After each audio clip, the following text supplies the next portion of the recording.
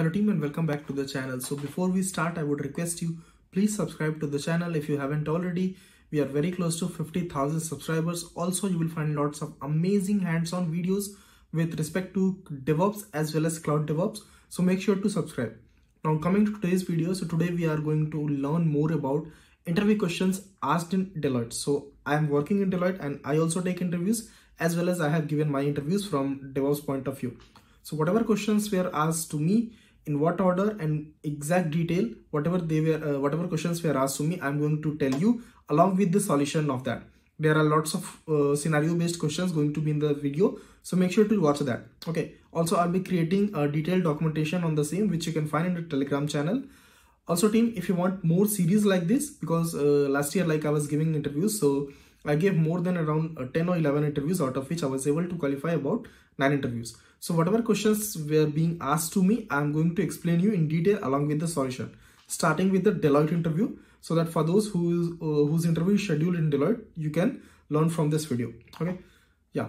Also team, uh, one more thing for those who are looking to uh, like start preparation of uh, DevOps and want to learn DevOps as well as want to transition into DevOps from different domain, you can enroll to this course. This is this course is designed specifically for people who want to transition to DevOps. Okay. The course is starting from 10th of March, so make sure to register now. As well as if you use uh, if you use the coupon code batch4, you will get 20% off. Okay. So make sure to check this out as well. And with that being said, let's get started. Okay team, so now we are going to learn about what kind of questions they were asking, right? So uh, for starters, first of all, uh, the first question that they asked me was, tell me about yourself. Okay. Now there are multiple ways to answer this, but uh, the way that I answered, I'm going to explain you. Okay. So the way that I explained this question is that first of all, I mentioned that uh, my, my, name is Aditya Jaiswal. I have done BTech in IT in 2019 and since 2019, I have been working in Capgemini as a DevOps engineer. After This was my brief introduction. After that, I started explaining about my project. So I mentioned that uh, in Capgemini, I have been working as a shared resource where I have been uh, supporting two projects. Then I provided some details of those projects. In first project, I'm working with these tools and I'm working as a uh, like DevOps engineer and these are my general tasks. In second project, I explained the same thing that these are this, uh, the tools that I uh, work with in second project and what is my day-to-day -day task in short. Okay. So this basically this uh, first question answer like uh, tell me about yourself. This introduction went around like uh, around almost one minute, not more than that. After that, they stopped me and then started asking another questions, right? So first question, best way to answer is that key introduce yourself in short in whatever short possible like i have been done i have done btech in 2019 in it or CSE and since then i have been working in this company or so and so okay after that you can start explaining your project and as i mentioned i was working as a shared resource but if you have also worked as a shared resource it's a very good thing okay because uh, you'll be projected as a very good candidate working or supporting multiple projects okay so after that i explained like my day-to-day -day tasks and what were the tools that i used to work with okay Okay. Coming to next question, uh, they asked me is that have you written any pipeline? Okay. And what were the stages in your pipeline? Write an example pipeline, right? So first of all, obviously I have written pipeline from scratch that I mentioned in my resume as well as in my in the interview. So I mentioned, okay, these uh, like I have written pipelines and the stages that I explained to them that were existing in my pipeline. So let me explain you. First stage that I mentioned that first stage was compile. Okay. Next was next stage was test then then we did sonar analysis uh, this these are the stages that i was explaining to them sonar after that we were using wasp and after that uh, after that wasp after we, that we build the application to generate the artifact. We push the artifact to nexus okay? And then we uh, like build the docker images like build and tag them right? Then we scan these docker images using Trivy these were the actual stages in my company okay in my previous company actually.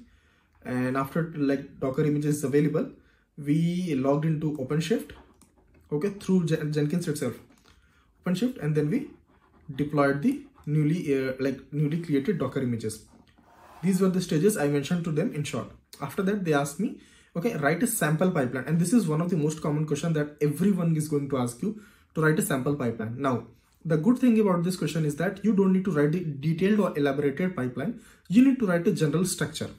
The way that I wrote the pipeline is that this format. Pipeline started then agent any okay? Then after that i wrote environment also okay? But i did not write anything inside environment i can just manually explain to them okay? Because this will be time taken then i wrote in this format stages then stage a name of the stage like compile or something then steps okay? In this format. And same thing i wrote like multiple times multiple stages and just close it. After that in short possible way i explained to them okay this is the basic structure of pipeline which we used to write. Then i explained okay, okay agent n is for like whichever agent is available which will be used for uh, running the job okay? And same thing i explained. So this was the general general actually you need to write the general structure. Until unless they are going to give you some scenario so if uh, without giving any scenario if they ask you to write a pipeline you, you are going to write a general structure only. You don't need to write the detailed version okay that was the first question uh, which hopefully i was able to answer after that they asked ask since you have mentioned SonarQube in your resume so what exactly is SonarQube okay so i mentioned SonarQube is a tool that can be used for uh, performing code quality check and code coverage. Then they asked me, ask me ki what is the difference between code quality check and code coverage. And second question along with that was ki what is the difference between testing or like test cases versus code coverage. Okay. So I mentioned that uh, I mentioned clearly ki code quality is basically refers to uh, like amount of bugs, vulnerabilities, code smell we have in our code. Lesser the number of those kind of issues, better is the code quality that that we call as code quality talking about code coverage so code coverage i mentioned that when we have test cases for our application when we run those cases then running those test cases uh, like whatever percentage of the code is covered or like tested by running the test cases that percentage is known as code coverage okay in similar way i mentioned i, I explained test cases versus code coverage so test cases is written to test the functionality of our code and the percentage of code that is covered by running the test cases, it's known as code coverage. Okay, that was the case of SonarQube. Okay, after that they also again mentioned that because the way they were asking questions is whatever tools I mentioned in my project along with the projects. So whatever things I mentioned from there itself they were asking by giving some scenarios as well. Scenarios will be coming soon. Okay okay so afterward they asked me okay you have mentioned nexus also how did you use nexus and how did you manage artifacts okay so when they said uh, said that you have used nexus so i explained in short way that it's artifact repositories we used to push artifacts okay then they mentioned how did you manage the artifacts so by that they what they meant okay if you are having multiple versions of artifact and your your storage will be getting occupied. So what you are going to do in order to make sure that or like uh, the storage is not getting full. Okay. So in nexus we have one option known as cleanup policies. Okay. It's a feature of nexus which basically in this policies we can define if a certain uh, artifact is older than 90 days then it can be automatically removed. Okay? That's what i explained. And this was for them it was very crisp and clear so they understood this. Okay? After that they gave me uh, they asked me uh, like because in my build tool at the time i wrote just maven. So they asked me if you are used maven what kind of error have you faced with maven? Okay? So in that case what i said one of the errors that i faced with maven is 137 that means out of memory okay? That means memory was not enough for the uh, like pipeline to proceed while running the maven task. So they asked me how did you fix it? So i mentioned i used some uh, like opts java opts okay? We have like xmx and xms values. Here basically these two refers like uh, initial memory and maximum memory okay? So here i can define initially the memory should be used that is 500 mb from here it should be uh, memory usage should be starting and maximum it could go to 2 gb so if maven is having uh, by running uh, maven is having this much like capacity available then it can easily execute the uh, like uh, pipeline okay? That was one error. Second error that i mentioned to them is uh, very useful most of you might already know is like skipping the test cases okay they asked me uh, like since they were not 100% satisfied with this uh, 137 error so they asked me to explain another error in which i mentioned that like sometimes we used to support clients. Okay. So when we used to support clients in that cases what used to happen? Client test cases are failing. Okay. But still they want to test their code other functionalities and everything. So in that case what we suggested that you can skip the test cases for the meantime so that we can that we can do using uh, using the argument d skip okay test equal to true. Okay this means this uh, argument if you are adding in our pipeline that means it is going to skip the test cases and then whatever stages are uh, present afterward that is going to be executed. Okay so this was one of the two scenarios that i explained with respect to maven. These are like error error based scenarios. Okay coming to next question so next they asked me since uh, i mentioned that i have used Trivy also. So with Trivy they gave me one scenario okay? So in Trivy they mentioned that uh, you can generate report right? One way is like if i run let's say i want to scan the docker images okay? Or let's say i want to scan the uh, like file systems okay? So one second i'm not sure why it's one second okay so uh, they asked me like okay if you have used Trivy what exactly did you use for? So i mentioned we use Trivy to scan our docker images okay? Which i can run using the command Trivy image then docker image name right? Now they ask you okay if you are running this command the report is going to be generated in the pipeline okay? In the console log of the pipeline. So what is the better way to get the report in a specific format okay then i asked them okay which format you prefer to get it in tabular format or in other format so they they told me since a report can be used very easily by as an input string okay so uh, they, when they said this, then I mentioned, okay, that is, then you, are, you might be referring to JSON format. Okay. So they asked me, okay, you, you, the, you, your scenario is that you need to generate the report in JSON formatted. Okay. So then they asked me to write the code or like, I did not write, they asked me to uh, like mention the code which we, which can be used for this purpose. But for you, I'm writing here. Okay. So for that, what we can do, Trivy, then image. Okay. Then here we are going to write format okay hyphen hyphen format and here which format I want. So if I want to use this report as input string, I can go ahead using the JSON format.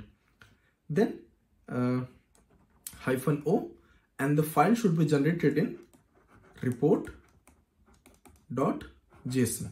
Okay, this is the uh, this is the way in which you can generate a Trivy report in a specific format. Okay, and then finally the Docker image name. Okay? So this is what answer i could give and this is what you should know. Okay? Coming to next uh, so after this this was like uh, most of the things covered. Then they jump to docker. Okay? So in docker they asked me first question which at the time i was not able to answer because i did not have like too much knowledge at the time. So with docker with respect to docker they asked me how to get info about a docker docker network. Okay? So uh, at the time i was not able to answer but now you can okay team yeah coming back. So with respect to docker they asked me key how you are going to inspect a docker network? Okay?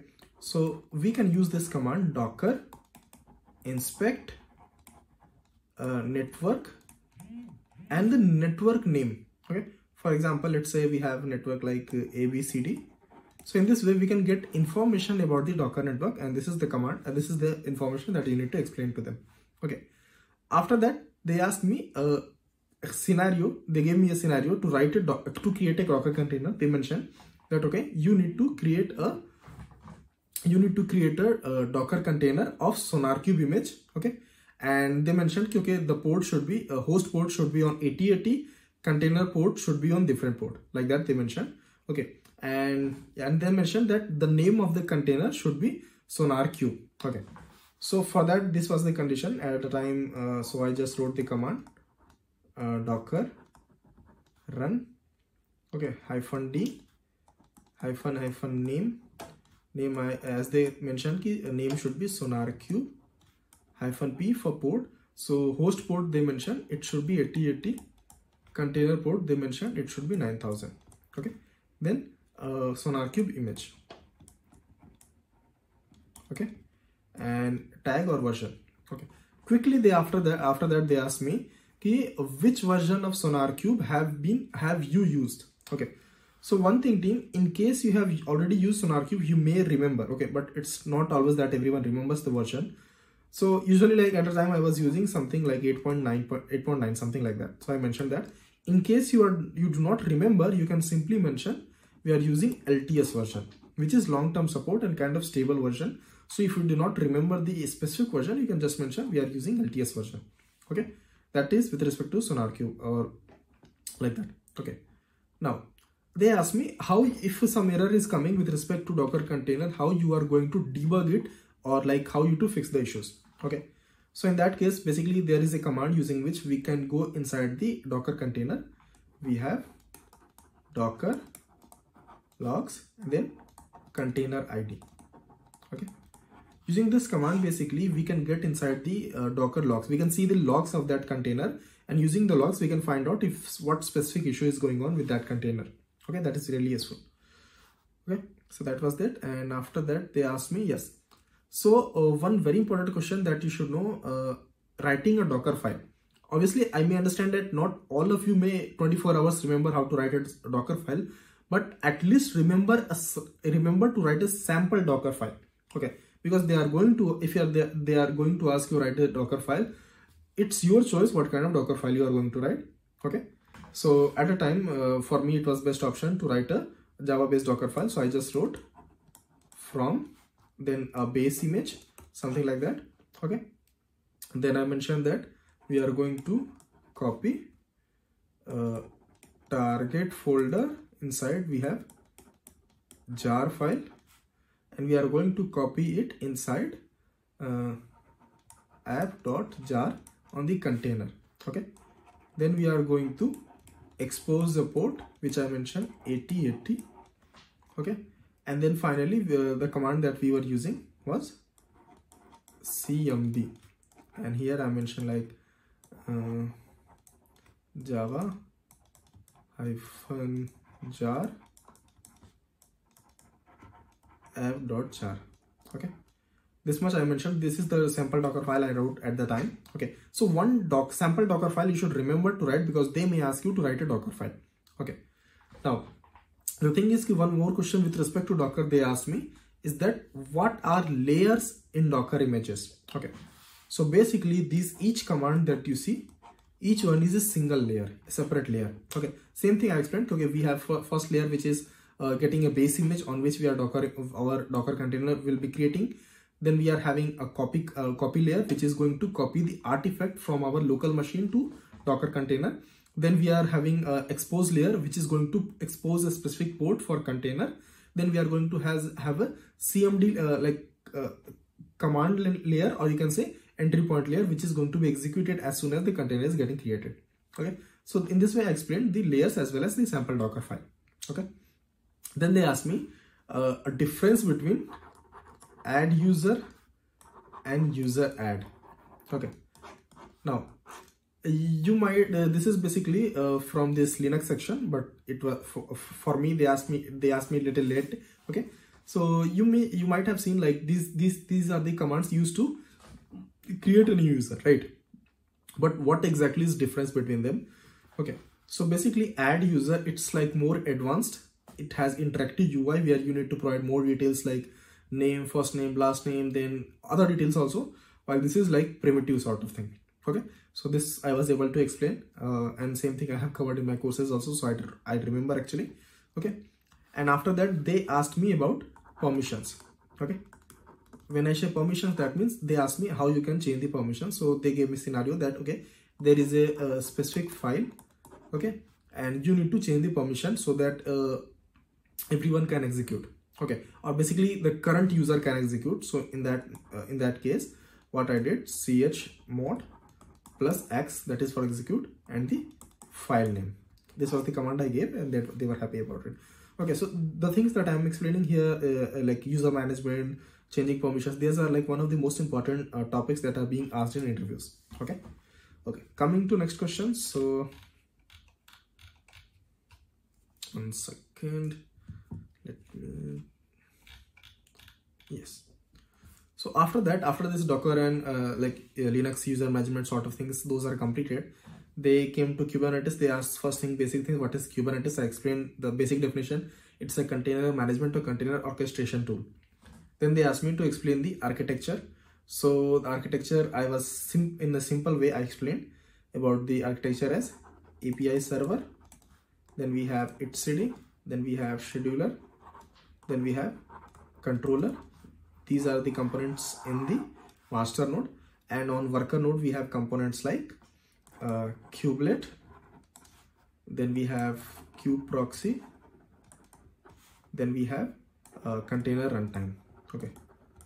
Now you might be thinking how come they are asking this many questions. So for those who have already given interviews, you might have a little bit experience. If you start giving more answers, they are they start asking more questions. Same thing happened with me. I was able to answer, so they started asking more and more questions with me, and so that interview went very long. I'll explain like what how many rounds. at the end also I'll explain how many rounds were there and what is the exact process for like uh, getting interview and everything. Okay. So yeah, so uh, for uh, Kubernetes architecture, I explained in this format, I explained the components existing on uh, like master node, worker node. Then they asked me what exactly is kubelet, what is its functionality. So that I explained. Kubelet is going to be the one uh, component that is responsible for creating the pods. Okay.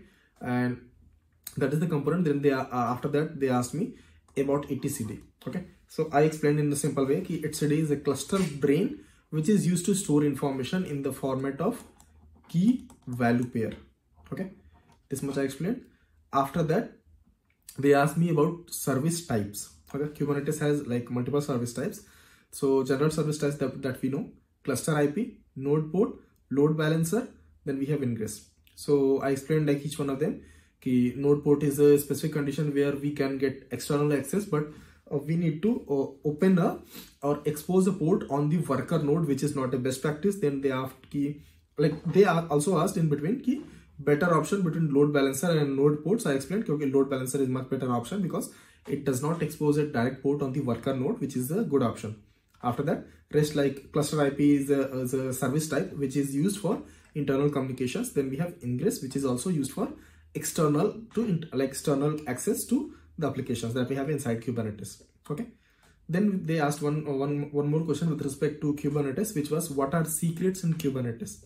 So I explained the secrets are a specific component of Kubernetes which are used to hold sensitive data like credentials. Okay. And this was like the on-premises tools they used. And since I have also mentioned cloud platform in my resume, okay, so I have mentioned at the time uh, Azure. So they asked me uh, about like Azure, how, what task I have done, what things I have done with respect to Azure. So I explained that. After that, they asked me if you have worked with AKS. AKS is short for Azure Kubernetes service. Okay. So I explained, yes, I have worked with it. So then they asked me, ki, like, how did you deploy uh, to Azure AKS service? Then I mentioned, first we will build, build our application, get the artifact. Okay. Then using that, we will going to create Docker images, push the Docker images to ACR, which is Azure Container Registry. After that, uh, we are going to uh, like mention the docker image in our YAML file, YAML manifest files, and then using release pipelines and along with the YAML files, we are going to deploy to AKS using a task known as a kubectl or kube, uh, like deploy to kubectl, uh, Kubernetes like that in Azure. So that was fine. Okay. After that, they asked me to write a sample YAML file. Okay similar to that uh, like sample structure of uh, Jenkins pipeline, sample structure of Docker file, one sample pipeline in YAML for Azure you should know if you are going for Azure Azure interview. So let me show you, show you one example, simple example that I actually wrote at the time. So this is the this uh, pipeline that you are able to see here.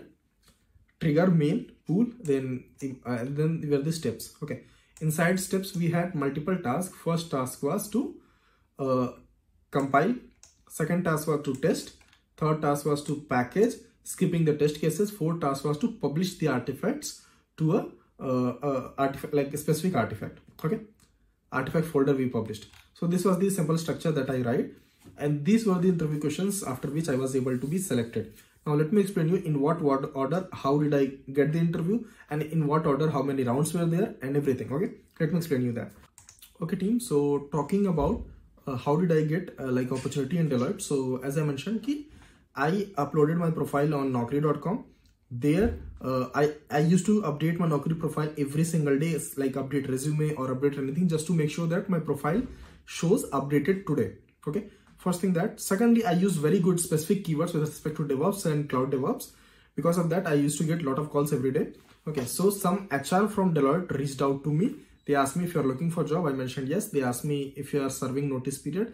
So even i was not serving notice period but on naukri i have written that i'm serving notice period. Because every hr that who is going to search for uh, like search for a profile so they usually use a filter to see who is serving notice period in case of experienced person so uh, they asked me are you serving notice period? I said no. Then she said ki why it is there written that you are serving notice period? I said i did not get calls so i just wrote a serving notice period like that.